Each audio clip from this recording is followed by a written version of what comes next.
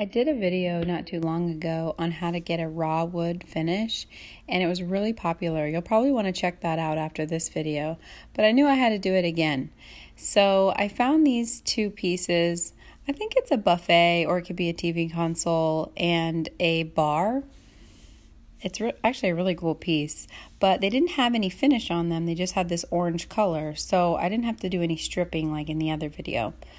But I just got my handy dandy household Clorox, and um, I've got a commercial spray bottle there, and I'm just going to do half and half half water and half bleach.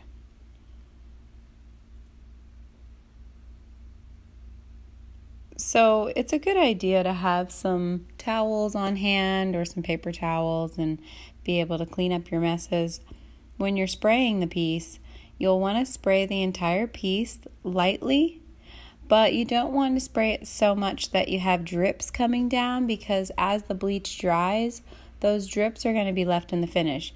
And maybe that's a cool look you're going for, but I wanted a nice even finish, which is another reason why I mix half bleach and half water together instead of just doing straight bleach.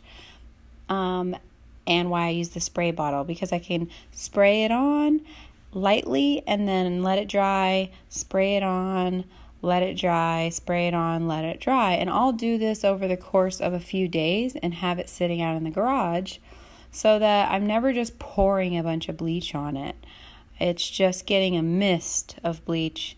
And then I'll go about my day, do my stuff, come out in the garage again, spray it, go about my day, do my stuff, and come out in the garage again and spray it.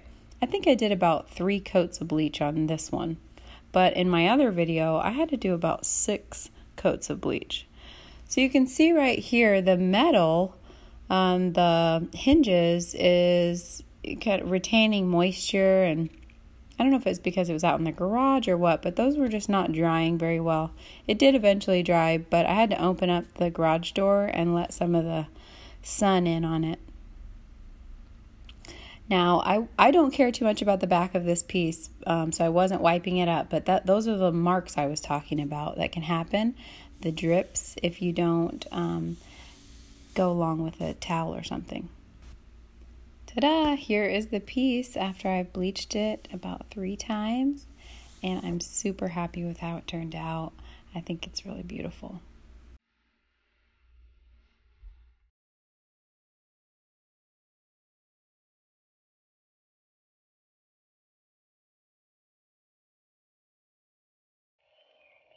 I wanted to do some bonus footage at the end of this video because one of the questions that I get asked the most frequently is how do I find a solid wood piece of furniture? And I do intend to do a video on that, just completely on that, and I'll take you guys with me and we'll go thrifting and I'll show you how to find a good solid wood piece. But I did in this video just want to go over the basics. So I have a few pieces in my shop and the thing that you want to look at, so you can look at the front of this piece and that's great. It's great to look at the front of the piece, but it's really hard to tell if this piece would be solid wood or not, right? Just a little nightstand. So what you want to do is you want to go around to the back of the piece and you're going to look at the top, you know, this part, right? The top of the piece and this right here is solid wood. You can see that it is um, doesn't have like that particle board texture. Um, I'm not, so again, I'm not looking at this part, I'm looking at this part. And now this particular piece has a veneer on the top, and I've talked about veneer in my videos before, but veneer is like a thin uh, piece of, oftentimes it'll be wood or it'll be a really durable um, type of material that they put on top and it's about the thickness of a penny. And so this piece would not be great for um, bleaching the top uh, because the veneer is like this laminate type stuff and so that just wouldn't work. But um, you can see here though that the that the top part underneath that would be good now here is another spot so this particular one is such a good one to look at because the sides aren't solid wood. Um, and the reason I can tell is I'll look at the side here And if you get really close, and I don't know if my camera will show you well enough, I'll take a picture and put it on here.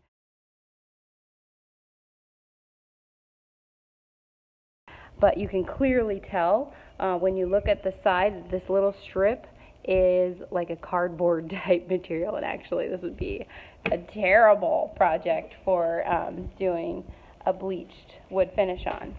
But this piece right here would be great. I can tell that it's solid wood um, just because I've been doing this for a long time from the front. But I'm going to show you how you can tell from the back if you haven't been doing this a long time. You just go around the back Again, just like what we did with the other little nightstand, and you can see so clearly this strip right here is solid wood, and this top is solid wood as well with no veneer. Remember that little penny thickness layer that was on top? There's no veneer on this. This would be such a great piece to do a raw wood finish on. Um, and maybe that's what I'll do. Maybe I'll do a raw wood finish on that little nightstand that I have there. But I hope that um, that helps.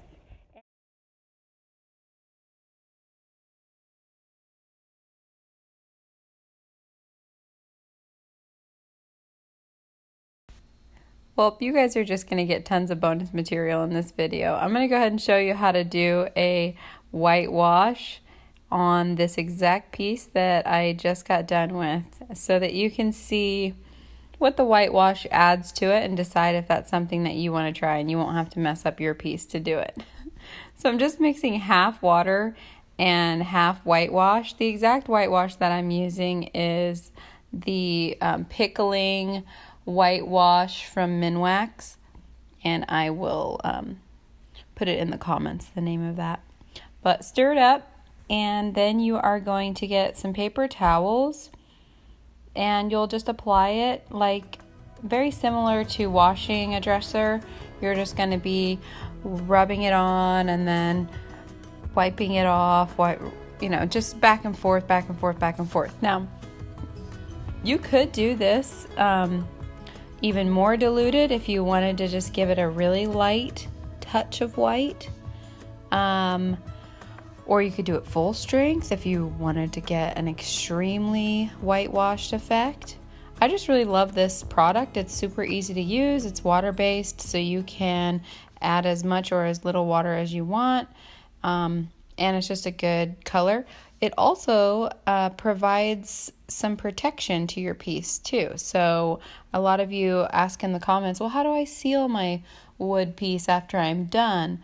And I don't seal, seal my pieces when they are just going to be that raw wood because if you add a top coat, it's definitely going to darken it up a little bit. And I just don't want to darken my pieces up. Plus, I like the look of the raw wood. I want it to look like raw wood. But the whitewash, um, the pickling whitewash from Minwax actually does have some moisture barrier to it, which is nice. Again, I've got a whole video on this um, exact technique too that you might want to watch after this one, uh, where I do this um, exact technique to a dresser. And it turns out really nice. Here's the piece side by side. You can see on the left, I've done the whitewash, and on the right is just the bleach. I honestly like both looks, and depending on what you're going for, you might um, pick one or the other based on that room. But I think at the end of the day, I'd go with the natural on this particular piece. So um, what's great is I can just sand it off if um, if I want to just stick with the natural. So that may be what I do. I did full strength on the top of the Minwax, and I didn't really like that. I will say. But yeah, all in all, I think it was a good experiment. And you guys, I'm a small channel. Just send me a pic. I'll I'll tell you whether or not it's solid wood or not. Um, I'd love it if you put put stuff in the comments and we get like a whole community going on here. I would so love that. So don't ever be shy to reach out and um, make sure you like and subscribe. And I will be putting out more raw wood type videos in the future too. And it's one of my special finishes, and so have lots of that material coming, so make sure you hit the notifications bell, and it means a lot to me if you guys subscribe. So, and thanks again for watching this video.